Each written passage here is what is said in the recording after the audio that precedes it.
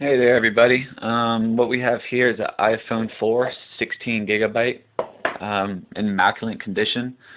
Uh, the phone has been reset. Verizon is the carrier. Um, you have to have a iTunes account to sign in, and well, you just have to get activated at your local Verizon place. Um, there are some scratches on the back.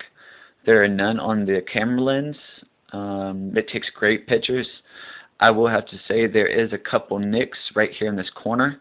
Nothing bad. I just like to uh, explain the product and what you're buying and be honest about it. But I have never had any problems with the phone. Never. Um, right here I have the stickers. I have the manual. Um, this is an aftermarket Griffin wall charger. It works just fine with the phone. I've been using it for a couple months now. Uh, I am including a car charger with a dual USB in it, um, your cable for your charger for your phone, and the actual pair of earphones that come with the phone.